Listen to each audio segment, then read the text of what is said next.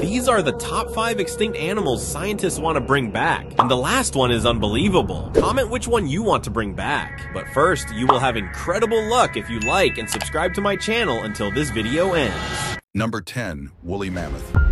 Frozen DNA from Siberia is being used to bring this Ice Age giant back through cloning.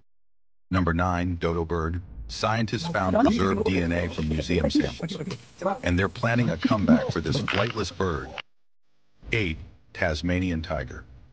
Last seen in the 1930s, scientists are using advanced gene editing to recreate it. Number 7. Saber-toothed Tiger.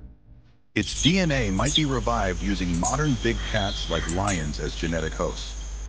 Number 6. Passenger pigeon billions once filled the skies. Now biologists are using pigeon DNA to rebuild it. Turfa for 5 Pyrenean Ibex. It's already been cloned once, and it briefly came back to life in 2003. Irish elk. With antlers over 12 feet wide, this prehistoric deer could roam again soon. 3. Carolina parakeet. North America's only native parrot. Scientists are restoring its DNA from old specimens. Purin 2. Steller's sea cat.